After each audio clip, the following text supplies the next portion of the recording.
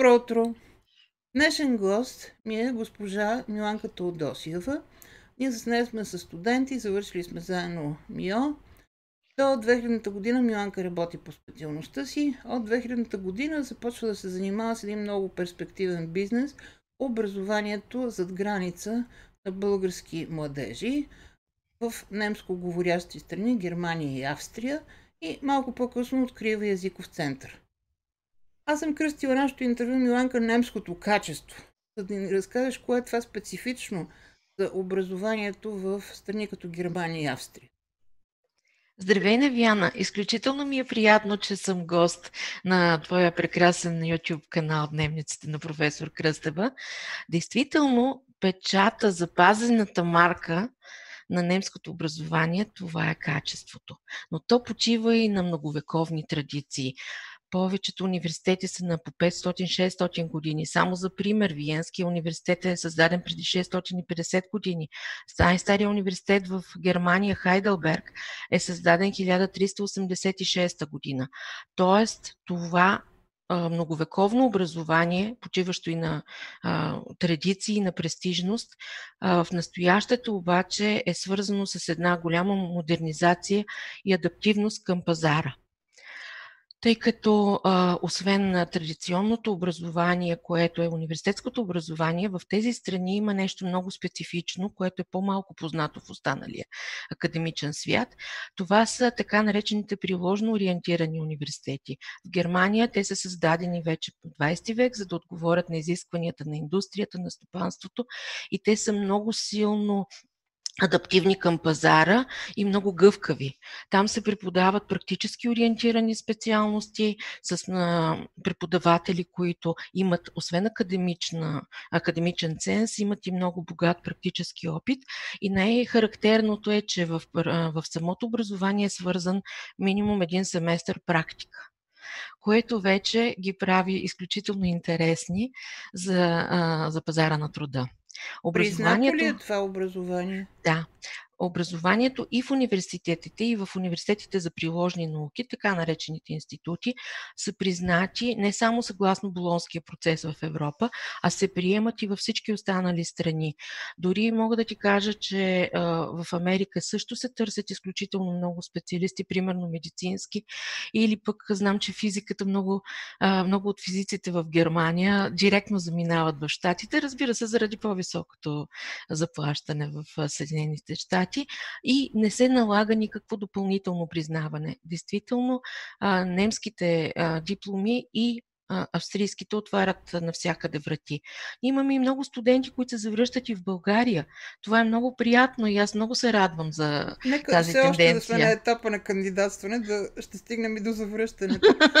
Но... Идеята е, че тук много се приема веднага такива кандидати намират веднага работа. Когато ние трябваше да започнем да следваме, си спомням, че за да отидеш в Германия, все пак задължителна норма беше да владееш немски язик и то на високо професионално ниво. Сега това непременно ли е необходимо, за да отидеш да учиш висше образование в Германия или е възможно преподаване на друг език? Специфичното е, че в Германия, освен на немски язик, може да се учи и на английски язик. И тази тенденция все повече се засилва.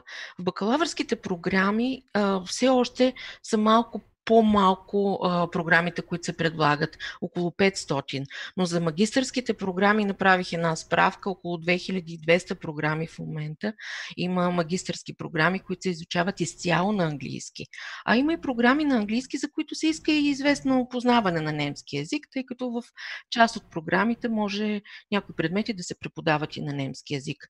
Другото характерно е, че не е задължително да знаеш немски язик, за да отидеш да следваш, тъй като има а, голяма възможност да се отиде с студентски статут, т.е. с всички привилегии на студент и да учиш половин или една година езика, за да можеш да си вземеш на място изпита. Като подготвителна да година. Подготвителна година по езика.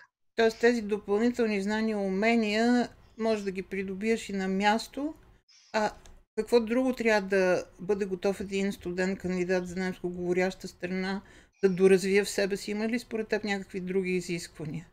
Да, ще кажа кое е специфичното. В Германия а, и в Австрия ни, нашите кандидати са равнопоставени на местните. Особено за Германия и за медицинските специалности това е много важно, но и за другите специалности. Ние сме абсолютно равнопоставени на немци и Европейски съюз. В едни и същи бройки няма квоти момчета-момичета. Но основният критерий там забележи, е средния успех от дипломата за средно образование. И това е много сериозен критерий, тъй като там а, държат 6 или 7 матури. Нашите Аз абитюренти са много привилегировани в този случай. Аз се усмихнах на идеята за квотите за момичета и момчета вчера, когато се консултирахме с теб за днешния разговор, си припомних нещо, което сега и да го разказвам, няма да ни повярват. Когато с Миланка трябваше да бъдем прияти да учим МИО, да не знаеш, че това е международни економически отношения, а, се приемаха може би 100 момчета в един випуск и 10 момичета, които бяха селектирани по език. Мисля, че 5 с английски, 2 с немски и 2 с френски или нещо такова. Точно така беше, Вече да. не си спомням, примерно по френски може да са били и трима. И беше цяло чудо да успеш да попаднеш в тези да. 2, 5 или 3 момичета. И ние сме имали шанса да се преборим за това. Точно. Един феномен, който в съвременния свят младите хора мисля, че и не го разбират съвсем, но който продължава да бъде сила в много други образователни системи, където студентът, за да попадне, трябва да покаже наистина качества. А, Миланка, скъпо ли е такова образование? Когато каза за медицински специалности, аз наистина си представям, че това са много пари, които трябва да плати студент или родителите му. Не изненадващо за всички ще бъде, че образованието и в Германия и в Австрия е абсолютно безплатно за Европейски съюз. В Австрия се заплаща една семестриална такса от 20 евро която е студентска такса за членство в студентски организации. В Германия специфично, нищо не се заплаща за образование, но има едни семестриални такси в размер между 50 и 300 и няколко евро, зависи от провинцията и от е, града, които обаче, срещу които обаче се получават много големи студентски придобивки, социални придобивки.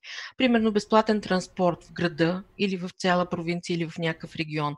Ползват се по-ефтино и общежитията, и мензата, и безплатна библиотека, безплатен интернет и отстъпки от спортни културни мероприятия. Тоест тези социални придобивки са много важни, а вие ги получавате срещу една минимална такса. А общите издръжки на живота високи ли са? Има ли стипендии? Лесно ли си намират работа студентите? Ще обясня. Издръжките са възможно най-низките спрямо другите студентски дестинации. Да, защото ние много пъти сме правили с, заедно с родители сметка, че примерно в Германия, ако си на общежитие, много от студентите, които идват от страната в София, примерно, на тях издръжката им е по-висока, отколкото на студенти в Германия. Обикновено ще кажа по-стандартните, може да може и с по-малко, но обикновено с всичко включено между 500 и 700 евро на месец. Аз тук искам а, може да бъде да издръжката. Нещо, като родител, а, моя син изкара един летен семестър в Берлин, в Хумболтови университет mm-hmm. преди 2-3 години. Да. И аз бях изключително поразена от това какво означава общежитие. Тоест, говоряки на родителите за общежитие, нека не си представят стая 3 на 4 метра, с която живеят трима души вътре и се чудят къде да си приберат вещите. А, общежитията в германските кампуси са нещо съвсем различно. Това обикновено представлява апартамент, който има 3 или 4 стаи с кухня, обща стая. А, в тези 3 или 4 стаи живеят по един или двама студенти, зависи кой колко е решил да плаща. А, всичко това се поддържа от а, администрацията на този кампус и цената е изключително приемлива. Цената е едва ли не на две нощувки в хотел в а, столица на европейски град. А, така че а, от гледна точка на материалните условия, те са несъпоставими с това, което за съжаление все още се предлага у нас. На, за мен, ако ти все пак си решил да учиш чужбина, ни цени, които всеки би могъл да си позволи. Това е моето впечатление. Аз бях поразена. Точно така. Условията са изключително добри. Всеки обикновено, в повечето общежития, всеки е сам в стая. Даже това е норма. Докато в Австрия може да бъдат двама души в стая. Другото, което е важно, че имаш право да работиш по време на следването. Тоест, още първата година, особено в Германия, може да се работи. Както в университета има много добре платени а, дейности, които са и към библиотеката, и към администрацията, и в мензата и така нататък, така че и доста лесно се намира part-time job, както се казва, по часова работа, с които, м- примерно в Германия минималната ставка е 9 евро и 10 евроцента на минимална ставка на час, а повечето успяват и на по- доста по-висока. А постепенно отиваме вече към завършващите. Mm-hmm. А къде тежи тази диплома? Какво се променя с придобиването на образование в чужбина за студент?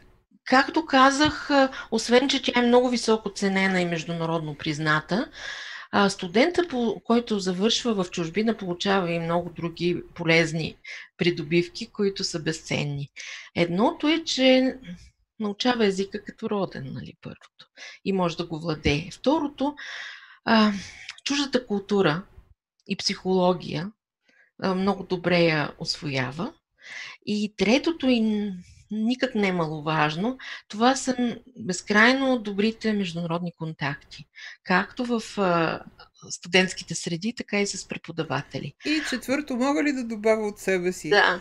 че а, един безкрайно интересен студентски живот. Това, без разбира се, далеч от мама и тачи. И попълни, много самостоятелно. Немска бира.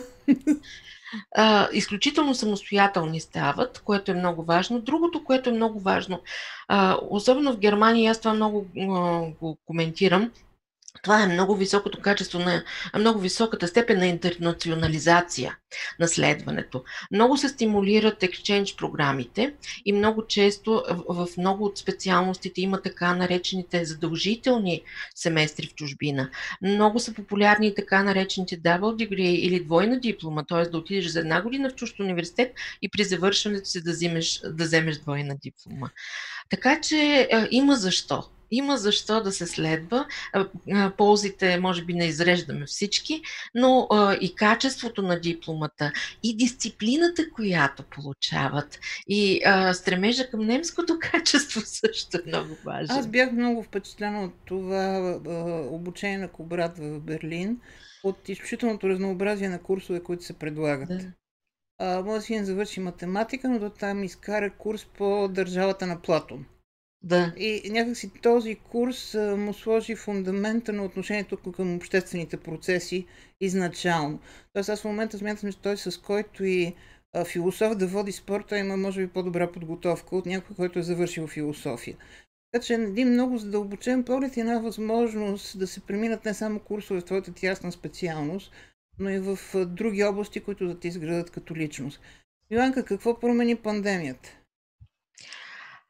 А, Искам да кажа, че а, немската и австрийската здравни системи много добре се справиха с този процес. Даже сутринта слушах а, оперативката на щаба и отново потвърдиха, че Германия е талона за здравна система и за здравни грижи.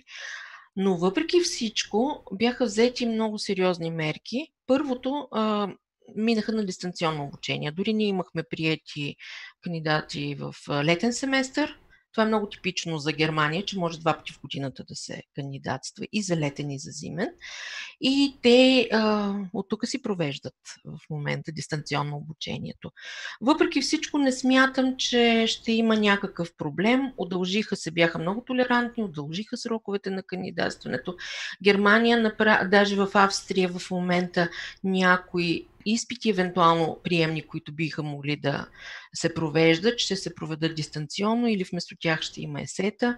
А, имаме много случаи, в които в момента а, се провеждат изпити за художествени специалности и дизайн. За първи път немците минаха на това да не са лични изпити, а да са дистанционни. Германия ще започне от ноември новата учебна година. А, така че взимат се всички мерки, изключително а, бързи реакции и по отношение на хигиена. А, в това отношение и в общежитията наблюдавам, всичко се спазва изключително.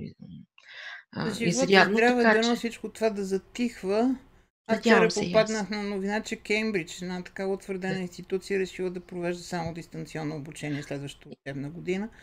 Така че ни предстои да видим. Не всичко зависи от нас и нашите прогнози, за съжаление, но се надяваме на най-доброто. Йоанка, какво ще пожелаем на младите хора в чест на настъпващия празник 24 май и за тяхното бъдеще? Аз също се радвам, че това интервю, точно с нощи мислих, че това интервю се провежда в навечерието на 24 май, а, да не, изключително български празник. Бих пожелала на всички и на твоите студенти, които са щастливци да имат такъв прекрасен преподавател, освен много здраве и късмет, да, да запазят тази стръв, тази любознателност към ученето и да се стремят да вървят все по-напред, да откриват нови неща, да не остават на едно място, а да се развиват все повече. А на тези, които биха се позаинтересовали за обучение в чужбина, нека да опитат Германия и Австрия имат какво да им предложат.